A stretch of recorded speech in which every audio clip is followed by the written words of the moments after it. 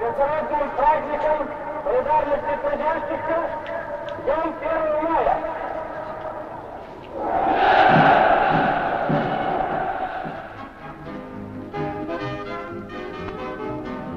Не только на площадях больших городов проходят праздничные шествия.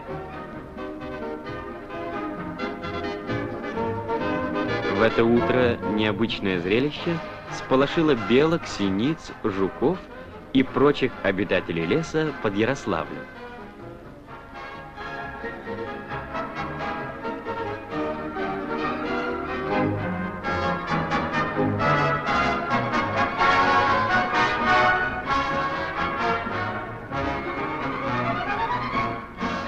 Так решили встретить Первомай студенты педагогического и технологического вузов, молодые рабочие судостроительного и электромеханического заводов.